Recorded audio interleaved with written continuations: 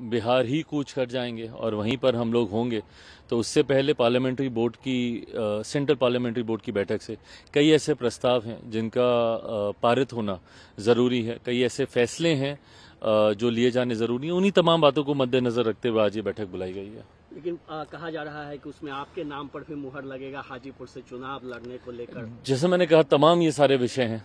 इन तमाम विषयों पर चर्चा होगी और जो जो फैसले लिए जाएँगे वो साझा किए जाएँगे। आपके पार्टी के प्रत्याशियों की सूची का भी लोग इंतज़ार कर रहे हैं बिहार में कि कब आएगा सूची? मुझे लगता है बहुत जल्द क्योंकि पहले फ़ेज़ के अब नामांकन भी शुरू हो रहे हैं तो ऐसे में और पहले फ़ेज़ में जमुई लोकसभा का भी चुनाव है।